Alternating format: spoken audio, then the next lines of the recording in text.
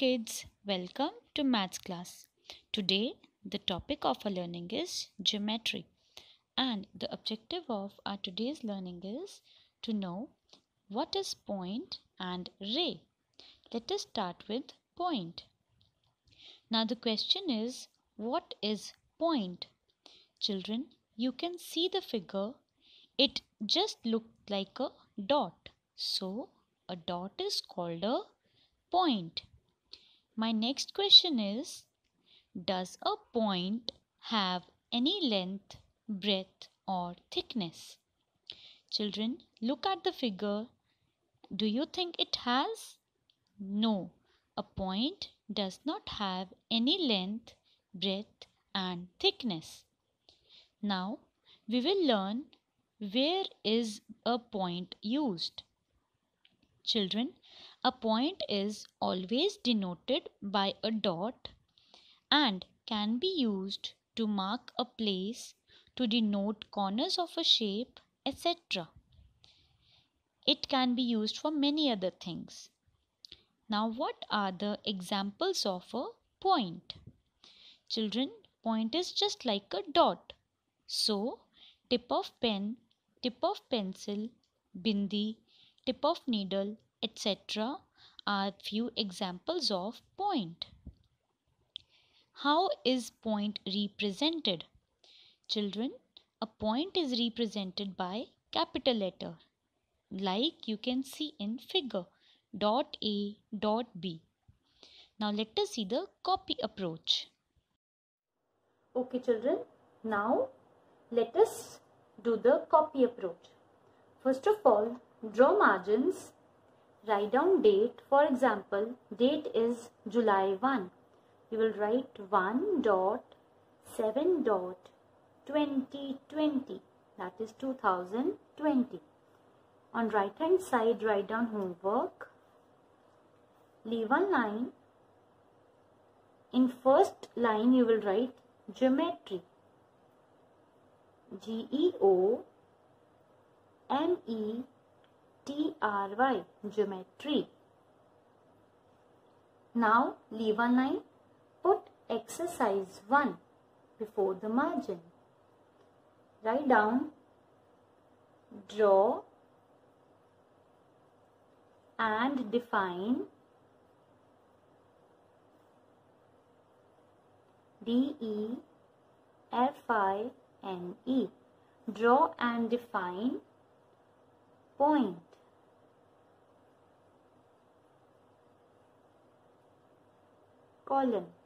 Now leave a line and now we will draw the point. You can highlight the square and in that square you can draw the point. Now again leave a line, put number 1.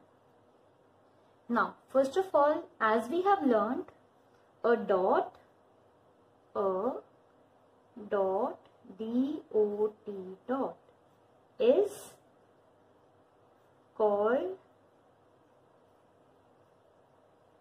a point.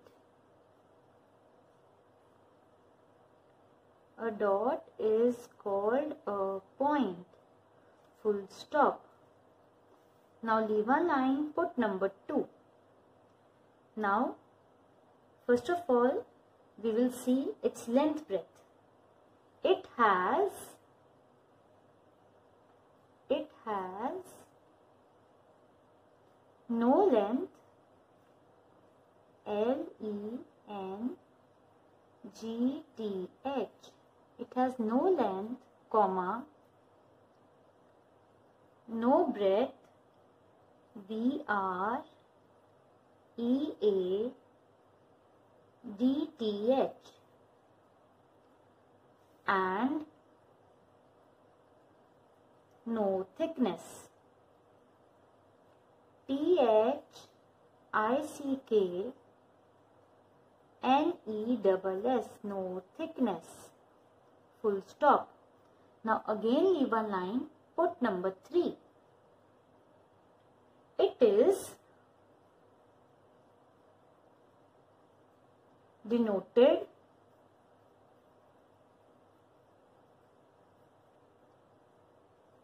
by a dot. It is denoted by a dot. D-O-T dot. Leave one line, put number 4. It is represented R-E-P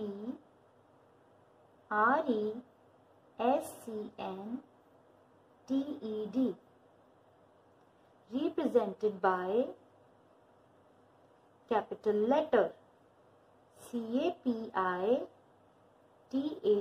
capital letter L-E-T-T-E-R like dot A dot X full stop. Leave one line, put number 5. For example, for example, tip of pen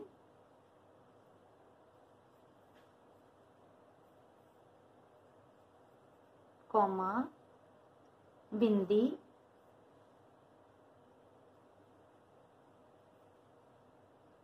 comma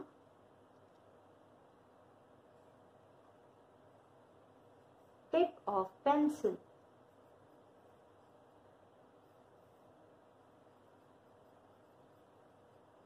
etc. So children, this was the copy approach of point. Now it's time to learn what is ray. A set of points joined together on a plane surface is called ray. Children, it is denoted by a dot on one side and arrow on other side. You can see that in the figure given. Now, how is ray represented? Children, ray is represented just as the figures given in your slide. What are the examples of ray? Now children, you can easily learn the examples of ray. Ray of sun. Why? Because it has a starting point but no ending point. Its starting point is itself sun. Second is ray of torch. Again, its starting point is torch itself and it has no ending point. Many other examples can be there. Now let us see the copy approach of ray. Okay children, now we are going to start with ray. First of all, take a new page on your maths copy. Draw margins.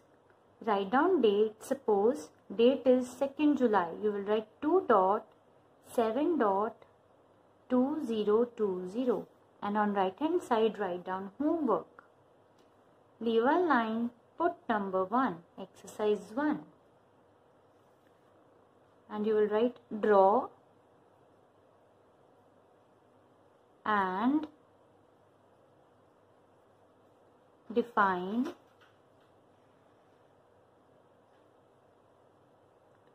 ray colon.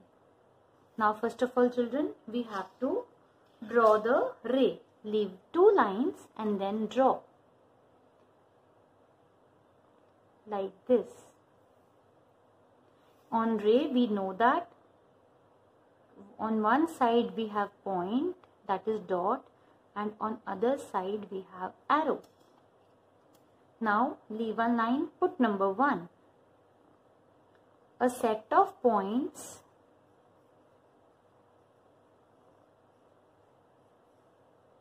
P O I N T S, a set of points joined J O I N E D, joined together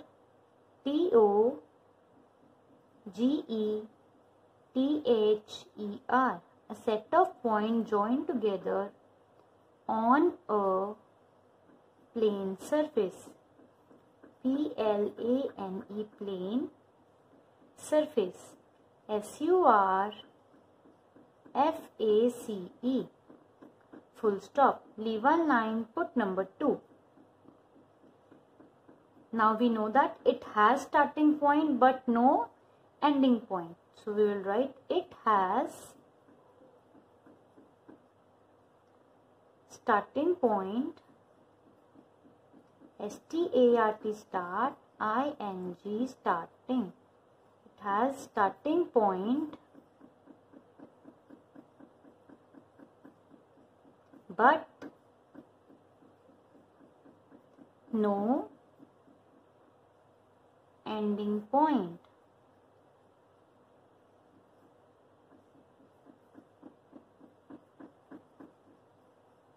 Full stop. Leave one line, put number 3. It has no fixed length. It has no fixed length. L-E-N G-T-H full stop. Leave a line, put number 4. It is denoted by D-E-N-O-T-E-D denoted. Denoted by a dot on one side and arrow A double R O W arrow on other side. S I D E full stop. Leave a line put number 5 it is represented REP R E P R E S C N T E D represented as now first of all children you have to draw the ray a small ray like this you can draw two arrow put dot arrow dot arrow and it is represented as A, B and one more example is X, Y. Full stop. Leave a line, put number 6.